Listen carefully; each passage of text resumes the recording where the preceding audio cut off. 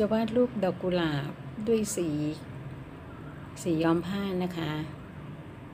เป็นการใช้ลักษณะที่ปาดสีลงบนผ้า ผ้าที่ใช้จะเป็นผ้าฝ้ายสีขาว ขนาด 12คูณ12 ก็ใช้ทำพัชนา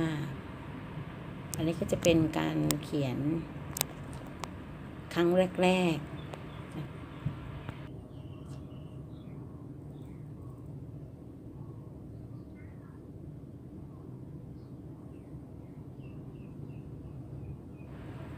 การเขียนดอกกุหลาบนี้จะใช้สีเหลืองกับสีแดงนะคะมาผสมกันในจานสี แล้วก็ระบาย การระบาย เราจะไม่ค่อยไม่ค่อยเคลียไม่เราจะไม่เกลี่ยสี เราจะวางผู้กันนะคะกับผ้าแล้วก็ลาก ซึ่งก็จะเป็นการวาดที่ใช้ความชำนาญพอสมควรค่ะแล้วก็เวลาเขียนก็ต้องคิดด้วยว่า ตรงไหนที่จะเป็นสีอ่อนสีเข้ม แล้วก็ให้มันมีลักษณะ จะเป็นกรีบ เท่าๆกันในตัวดอก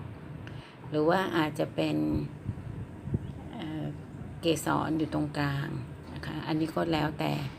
จินตนาการของ ของผู้เขียนเอง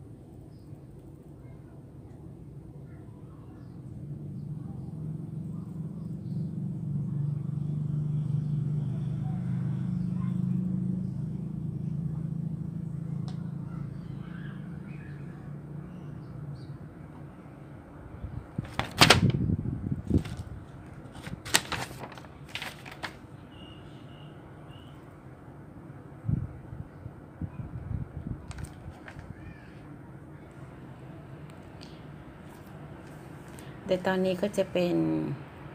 การตกแต่งเพิ่มเติมนะคะว่า เราเขียนดอกแล้วโครงสร้างของของการวางดอกใบ เป็นแบบนี้ เราจะเพิ่มเติมอะไร อาจจะในตัวดอกเนี่ย มันยังไม่สมบูรณ์ แล้วก็เอาสีเนี่ยมาลงนะคะ ความไม่สมบูรณ์นี่ก็มีหลายอย่าง อาจจะสีพร่ามัว อาจจะมีสีไม่เต็มนะคะแล้วก็เอาสีเนี่ยมามาระบายมาาเพิ่มเติม หรือไม่ก็ก้านใบ มันก็อาจจะอ่อนนะคะ มันไม่คม หรือว่าดูโล่งไป แล้วก็ เขียนเพิ่มเติมนะคะ แล้วก็ดูความสมดุลอันนี้ก็สำคัญ ความสมดุลแล้วก็ใบดอก เวลาเราระบายสีเนี่ย ไม่ว่าจะเป็นใบหรือดอกนะคะเราจะมีการไล่สีความอ่อนเข้ม เราจะไม่ได้ใช้สีเดียวนะคะอย่างเช่น ดอกสีแดง ใบสีเขียว แต่ก็ทำได้นะคะ โดยเฉพาะในศิลปะลัทธิอาร์ตนูโวหรือว่าเดคอร์เราจะเห็นการเขียนดอกกุหลาบเนี่ยเป็นสีแดงนะคะหรือไม่ก็สีแดงมีสีชมพูมีสีเหลือง แต่เป็นสีแบบเป็นแบนๆเรียบ